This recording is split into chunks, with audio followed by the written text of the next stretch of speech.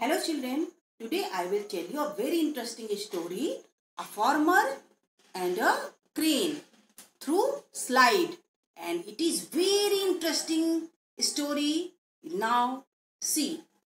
There was a farmer who was very worried about his crop.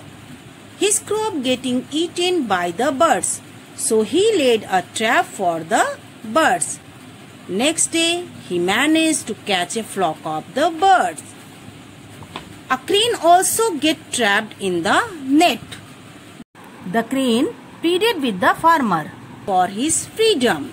The farmer retorted, You have been found in the bad company of these birds who were eating my seeds.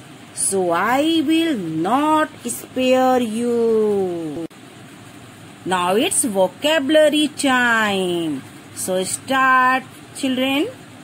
The word is retorted means answer and the sentence she retorted in silky voice.